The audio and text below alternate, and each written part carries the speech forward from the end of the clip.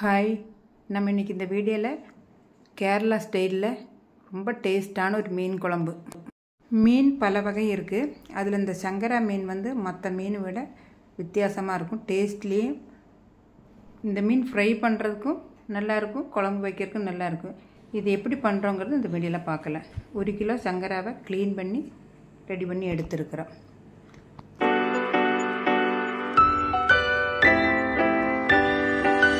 இந்த குழம்புக்கு வந்து நம்ம கொடப்புளி தான் சேர்த்துறோம். இது வந்து பாருங்கள் காஞ்ச மாதிரி இருக்கும். அதனால் இதை கொஞ்சம் நேரம் ஊற வைக்கணும். ஒரு கிலோ மீனுக்கு வந்து நம்ம இதே மாதிரி மூணு துண்டு தான் நம்ம எடுத்து ஊற வைக்கிறோம். இந்த புளி வந்து நமக்கு ஆன்லைனில் வாங்கிக்கலாம். இல்லை கடையிலும் சூப்பர் மார்க்கெட்லேயும் கிடைக்கிது. இதை நம்ம ஒரு கிளாஸ் தண்ணி ஊற்றி நம்ம அதை ஊற வச்சிடலாம். அடுத்தது நம்ம ஒரு மிக்சி ஜார் எடுத்து அரை மூடி தேங்காயை துருவி எடுத்துருக்குறோம். அதை இது கூட சேர்த்தி மீன் குழம்புக்கு எப்போவுமே கொஞ்சம் காரம் ஜாஸ்தி போடணும்.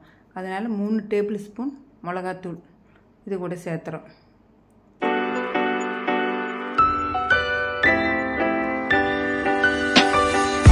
அரை டீஸ்பூன் மஞ்சத்தூளையும் சேர்த்து நம்ம இதை நைஸாக அரைச்சி எடுத்துகிட்டு வந்துடலாம்.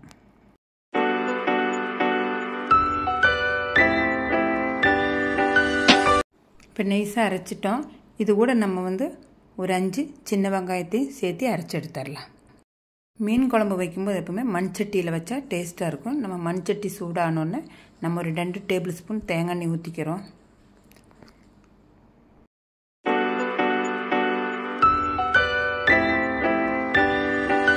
எண்ணெய் சூடானதும் நம்ம ஒரு முக்கால் டீஸ்பூன் ஏன்னா ஜாஸ்தி ஆச்சுன்னா கசப்படிக்கும் அதனால் முக்கால் டீஸ்பூன் வெந்தயத்தை இது கூட சேர்த்திக்கலாம்.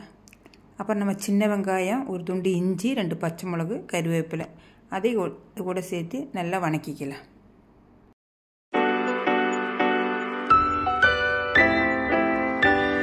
இது கூட வந்து நம்ம ஒரு சின்ன சைஸ் தக்காளி அதையும் சேர்த்து இந்த குழம்புக்கு தேவையான உப்பையும் இது கூடயே சேர்த்திடலாம்.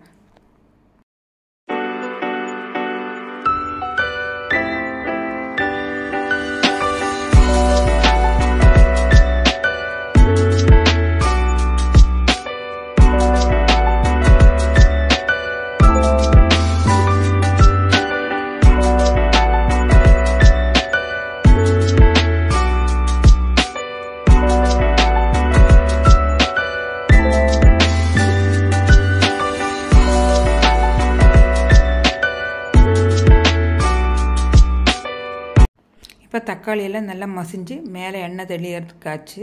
நம்ம அரைச்சி வச்சுருக்கிற அந்த பேஸ்ட்டு கூட தனிப்பட்ட முறையில் தண்ணி ஊற்றாமல் இந்த குழம்புக்கு வேணுங்கிற தண்ணி எல்லாம் சே ஊற்றி ஒட்டுக்காக கலந்து எடுத்து நம்ம இது கூட சேர்த்திடணும்.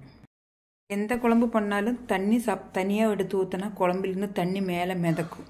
அதனால் தண்ணி எப்பவுமே தனியாக ஊற்றக்கூடாது அப்போ நம்ம ப புளியை வந்து ஊற வச்சுருந்தோம்ல அந்த புளி இப்போ அதுலேருந்து எடுத்து இந்த மாதிரி பிச்சு பிச்சு இதிலே போட்டுறணும்.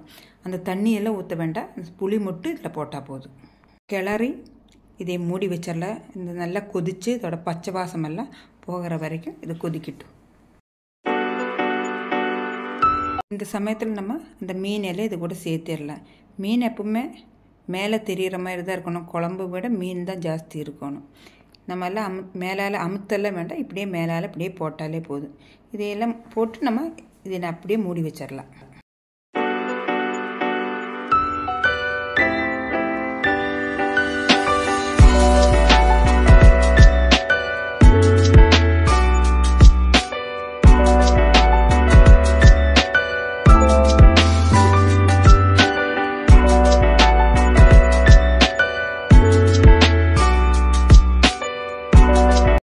இப்போ நல்லா கொதித்து மீன் நல்லா இதுக்கு மீனுக்கு வந்து ரொம்ப வேவு கிடையாது.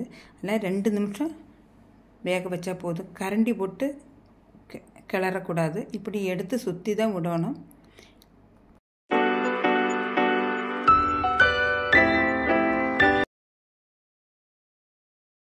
குழம்பு ரெடி ஆயிடுச்சு நம்ம இதை எடுத்து அடுத்த ஸ்டவ்வில் வச்சு நம்ம ஒரு சின்ன பேன் வச்சு ஒரு டேபிள் ஸ்பூன் தேங்காய் எண்ணெய் ஊற்றி சின்ன வெங்காயத்தை ஒரு அஞ்சாறு சின்ன வெங்காயம் ரவுண்டாக அரிஞ்சு அது இது கூட சேர்த்திட்டு நல்லா வணக்கி இந்த மீன் குழம்புல ஊற்றிடணும்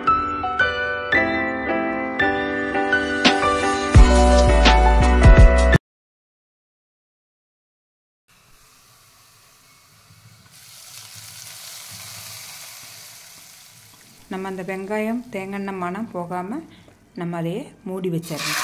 இன்னும் சங்கரா மீன் வாங்கி ஒரு தடவை ட்ரை பண்ணுங்கள் இந்த வீடியோ உங்களுக்கு பிடிச்சிருந்தா லைக் பண்ணுங்கள் ஷேர் பண்ணுங்கள் மறக்காமல் சப்ஸ்கிரைப் பண்ணுங்கள்